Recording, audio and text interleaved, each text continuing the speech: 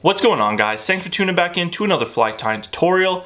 Today we're going to be tying up a stonefly. This right here is just a big black stonefly. I primarily been tying this for steelhead. It's a really easy pattern to tie. I wanted something just easy and quick that I can tie a bunch up really quick because I lose a lot of them to the bottom uh, fishing for steelhead as well as in the spring here the rivers are really high and dirty so I wanted something a little bit bigger of a profile to kind of push some more water and maybe trigger some more bites. So I'm gonna get a fresh hook in the vise and we'll get going with this tutorial. The hook we have in the vise right now is our Fly Fiend 350WG in a size 10 I have that paired up with a 4 millimeter slotted tungsten bead and also have about 4 to 5 wraps of 0.020 lead-free wire. That's just going to help that bead stay in place there, as well as just add a little bit more weight. The thread we're going to be using is just some Veevus GSP. This is um, black and it's in uh, 50D. So I'm just going to start my thread right behind that lead. I'm going to cut that out. I'm just going to come in here with a little bit of super glue. This is just a Gorilla gel glue. I'm just going to put a little dab right on top of this lead. Don't need much. Um, that's just going to kind of secure it there. I know that it's not going to go anywhere.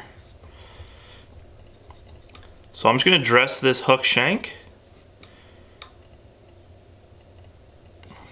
to about where the barb would be. And for our tail, we're just going to be using some black goose biots. And I'm going to tie these in on top of the shank rather than the sides. I just think it gives it more of a kind of like a 3D um, look to it rather than having them coming off the sides. I've been tying um, a lot of my stoneflies and uh, mayflies and stuff kind of like that. I just, I just like the way it looks but um, you can definitely tie them on the side.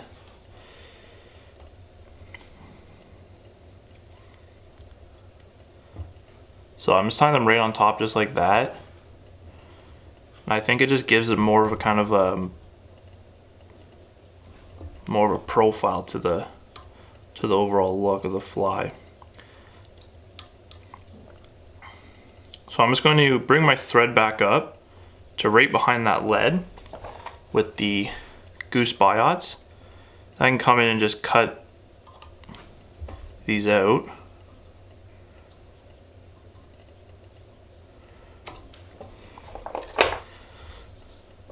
clean that up a bit. Now the next material we're tying in is our rib. And for our rib, we're just gonna be using some D-rib. This is, uh, this is the vinyl rib by UTC. This is in black, and this is in the MDG size, the mid size. So I'm just gonna get about six inches here.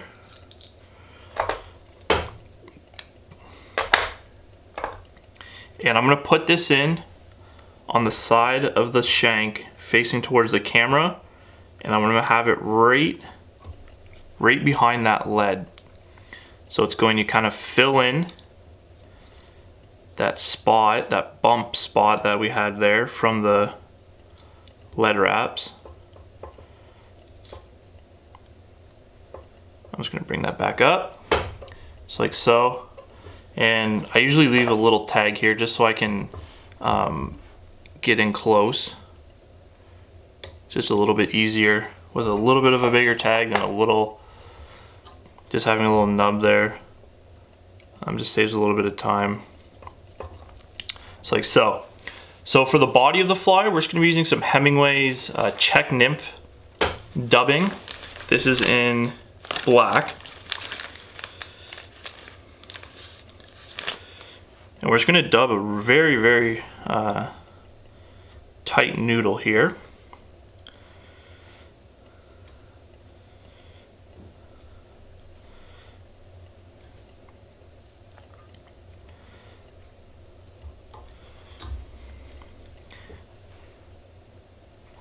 We're gonna start this right at the base of that body. We're just gonna make some nice touching wraps, touching up that body.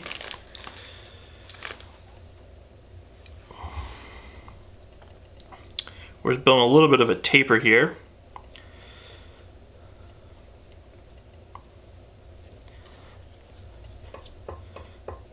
Ideally you want to come to the right where you tied in your rib with the uh, the end of the um, wire there, your weight. So I'm kind of just building up this taper a bit, just like that. Now I'm gonna grab this rib, I'm gonna come underneath the body and just make open spiral wraps up the body.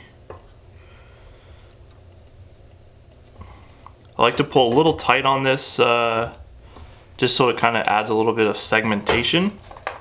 And once it's wet, um, it'll add a lot more um, segmentation to it. So once you cut that little piece out, we're gonna build up a thorax. And the thorax is the same dubbing, the Hemingway's uh, Czech nymph dub. And this I'm going to dub a little bit looser just so it has a little bit more volume and um, I have a little bit more stragglies hanging out so it looks a little bit more buggy. So I'm not putting in a full thorax right now. All I'm doing is kind of having a place to tie in my legs and kind of have an idea of how far up and down I'm gonna put my legs and I'll show you here in a second. So for legs we're just gonna be using some uh, Wapsi round rib. Um, I, I originally tied this with the same D rib but um, it's not round it's kind of like um, a flat so I, um, I started tying it with this uh, round rib and um, I like it a lot more. And you can use um, like rubber leg material if you like. I just like this uh, this D rib or this uh, round rib. Um, it's got like a nice little sheen to it. I think it looks really really cool in the water. So I'm gonna put a little knot in that side before I tie it in. Now I'm just gonna grab this side. I like to have a kind of a, um, some extra round rib just so I can put a knot in there. Just have another one coming off this side. So I got two little knots there. I can just trim this side up to a reasonable length. So as you can see there, I kind of have um, how far I wanted my to split these. So I have kind of a, I don't know, about a bead's length of room between the two. So I want them to splay out kind of one to the front and one to the back. I don't want them kind of just two coming right off the, uh, the side. So that's why I kind of split them and I'm gonna have put a little bit more dubbing in there to, uh, to, to keep them split. So I'm just gonna grab another little piece of this round rib. And all I do is just put a little uh, overhand knot in it. Nothing, nothing fancy. I'm just gonna put this on this side. Trying to line up the two together on the front.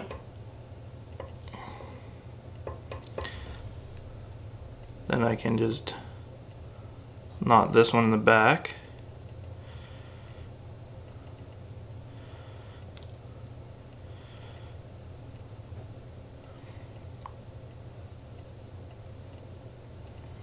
Sometimes it is tricky to get it through, but there we go.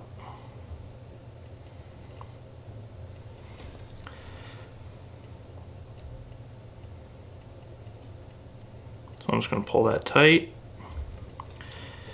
Then just trim that to a reasonable length so my thread doesn't get stuck all in there. It's like so. Now I can grab a little bit more of this dubbing. My thorax is pretty much already um, built. I just want to kind of put some loose dubbing in here just to kind of keep these spread. Just like so. And you can kind of use your hands to put these where you want. But that's kind of uh, how I like them looking, how they're splayed like that. Now for the wing bud, we're going to be using just some thin skin. This is just in um, mottled black.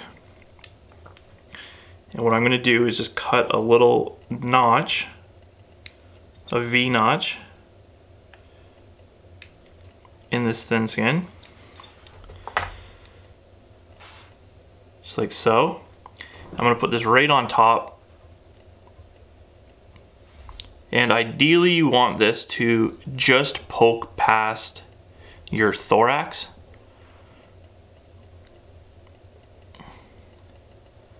So I'm gonna try and get that nice and centered on top. Got two wraps in there and come in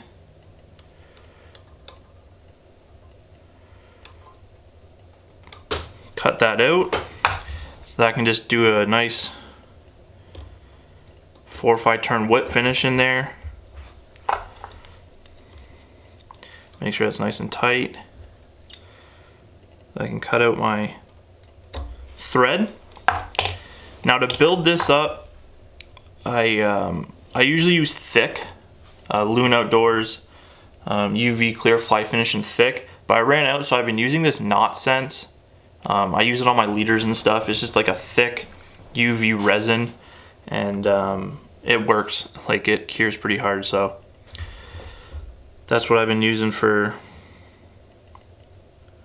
that. So I'm just gonna put a, a little blob on here. It's pretty thick stuff. So I'm just gonna like build up a base with this. Then I can come in with my flow, because this uh, stuff stays tacky. So I'm going to just build a, my base up with this stuff. Just so I don't have uh, flow going everywhere down the thorax and stuff. So I'm just going to coat all this thread up over the head or over the bead just like that then I come with my light hit that for about 10 seconds. Then I'm just going to come over it with some uh, fluorescing flow. So as you can see there on top of that wing bud it's just kind of uh, clear. But once I put this fluorescing flow on it, it's really gonna make it pop.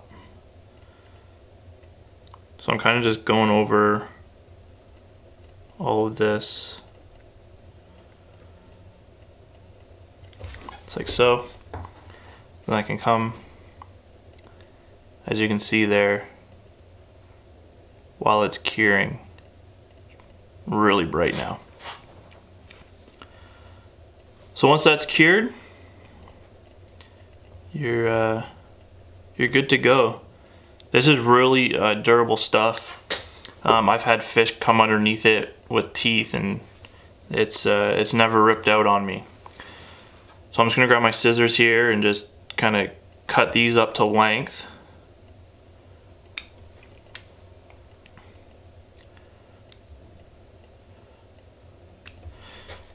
And you can also downsize this um, if you want to tie it for, you know, like resident trout. Or just tie it this size for resident trout. Um, I pretty much fish this for just steelhead. Um, just because it's so heavy, it, uh, it gets down really quick. So hope you like today's tutorial guys. If you did, give it a thumbs up. Subscribe to the channel if you haven't yet. If you want to check the list of all the materials I use, you can check that down in the description. If you have any questions about the fly or anything like that, you can drop that down in the comment section below. Tie a few of these up. If you are uh, fishing for steelhead, good luck to you for the opener. Thanks a lot again for watching, guys, and we'll see you in the next one.